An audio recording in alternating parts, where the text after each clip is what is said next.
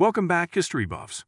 Today we're diving into the fascinating world of military technology with a look at one of the most ambitious and awe-inspiring weapons ever developed, the V-3 gun.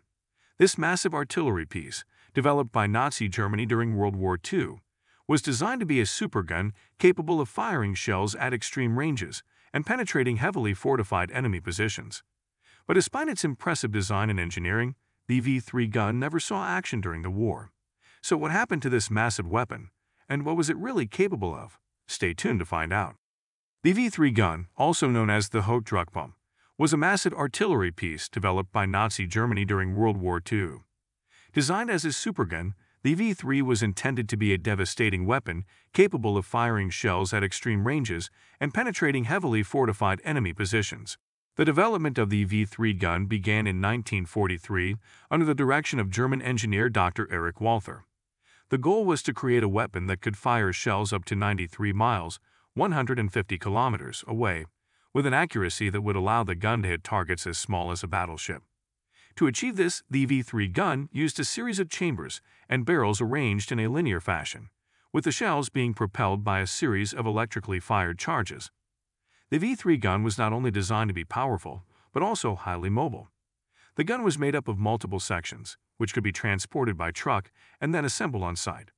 The entire gun could be set up in a matter of days, and then quickly disassembled and moved to a new location if necessary. Despite the impressive design of the V-3 gun, however, the weapon never saw action during the war.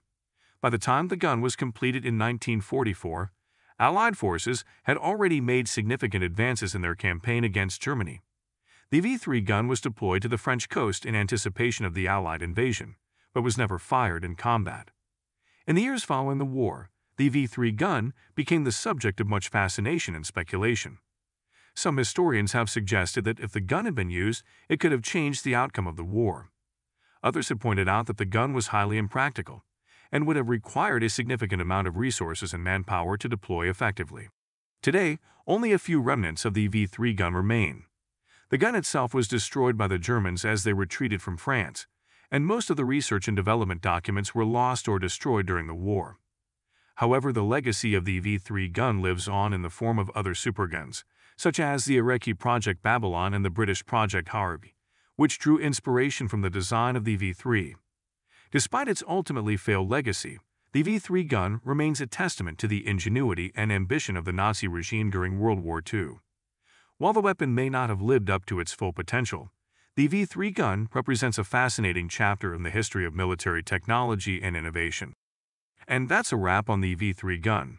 While this weapon never saw action on the battlefield, it remains a testament to the ingenuity and ambition of the Nazi regime during World War II.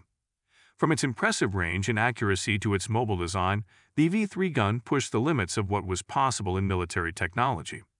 And while the gun itself may be gone, its legacy lives on in the countless other superguns that have drawn inspiration from its design. So thanks for joining me on this journey through military history, and be sure to hit that subscribe button for more fascinating insights into the weapons and warfare of the past.